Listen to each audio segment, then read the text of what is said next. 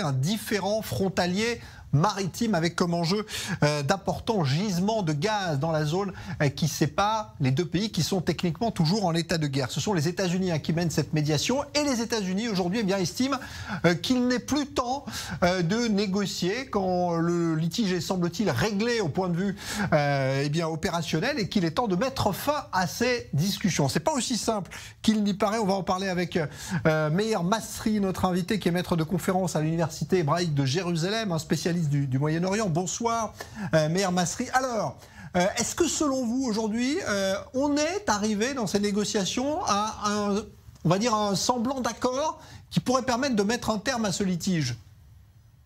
Bonsoir Jean-Charles. Eh bien, je ne le pense pas et je ne le pense pas pour plusieurs raisons. Tout d'abord parce que le Liban est extrêmement divisé. L'État libanais est inexistant dans les conditions actuelles. Et euh, euh, on voit bien que les prérogatives des uns et des autres sont complètement enchevêtrées, que ce soit le président de la République, euh, qui a derrière lui la communauté une partie de la communauté maronite, le Premier ministre sunnite, le chef du, Parlement, qui a également des prérogatives importantes dans le système politique libanais.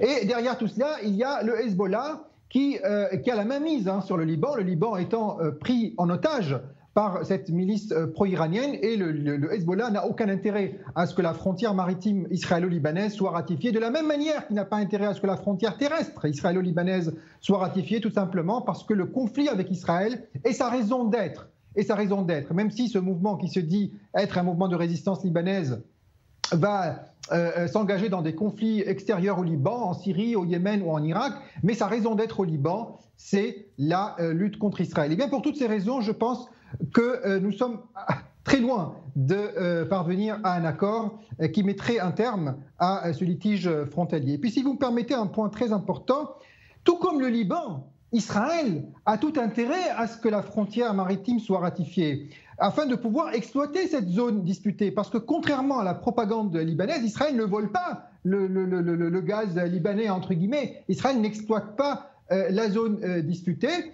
qui est pour le moment euh, euh, qui ne profite à personne pour le moment. Et donc nous avons aussi intérêt à ce que ce problème soit résolu. Hmm. Mais alors pourquoi est-ce que les Américains mettent cette pression aujourd'hui, notamment sur les Libanais hein, d'ailleurs, beaucoup plus que sur Israël, pour leur dire bon bah maintenant stop, il est temps d'arrêter de négocier et de finaliser cet accord?